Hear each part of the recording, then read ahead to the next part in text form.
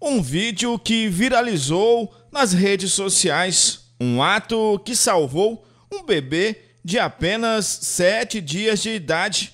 De acordo com as informações e conforme o vídeo, ele foi salvo por uma equipe da Patamo, da Polícia Militar, do 10 Batalhão, em Rolim de Moura.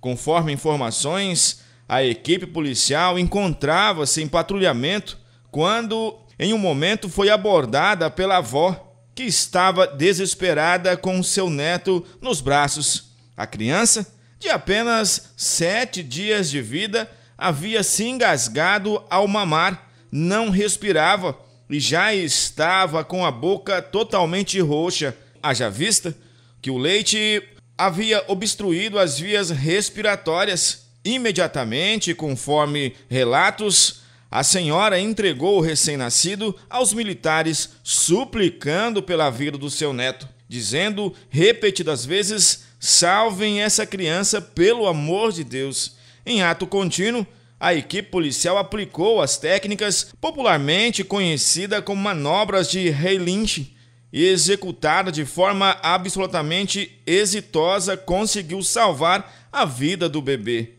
Após a intervenção totalmente providencial, a criança foi devolvida ao colo da avó e depois entregue à mãe. Os familiares foram orientados a procurar uma equipe médica para realizar a avaliação do bebê, de forma a garantir que o estado de saúde do recém-nascido estivesse seguro. Esse é mais um ato da Polícia Militar aqui no município de Rolim de Moura.